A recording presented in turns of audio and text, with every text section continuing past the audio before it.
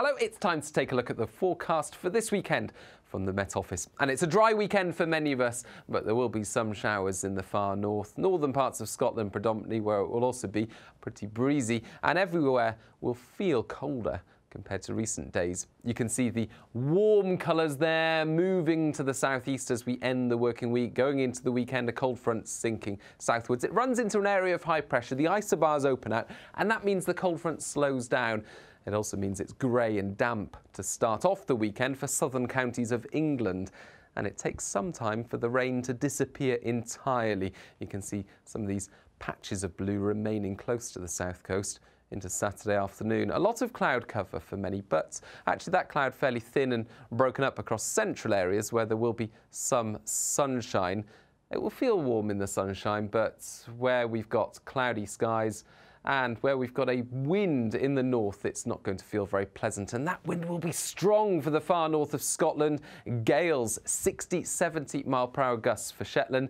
And for northern parts of Scotland in particular, some lively showers coming through. Rain and sleet and hail at low levels, hill snow as well for the Highlands. For Northern Ireland and the rest of Scotland, the odd shower is also possible through Saturday afternoon. But for many, it's a dry end to Saturday. This weather front to the south, it lingers along the channel. You can see it nudging further north again as we go through Saturday night and another weather front pushes into northern Scotland where we've got these weather fronts. It stays frost free, but in between a slice of clear skies and a frost to wake up to on Sunday. Temperatures hovering around freezing in the countryside. So a chill in the air first thing Sunday, but plenty of fine and bright weather through the central part of uh, the UK. And any early cloud does tend to thin and break across the south coast, so I'm hopeful that for much of England and Wales we'll see a day of sunny spells and light winds. A different story further north, cloudier for Northern Ireland, for Scotland, and some persistent rain there, mainly to the north of the central belt, especially over northwestern hills.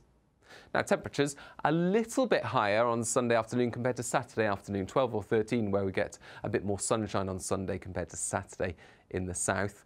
But further north, it's not going to feel very pleasant at all with that wind continuing well into Sunday. Of course, there are more details on the weekend forecast and the weather where you are online, through the Met Office app and via our social media channels. Have a great weekend.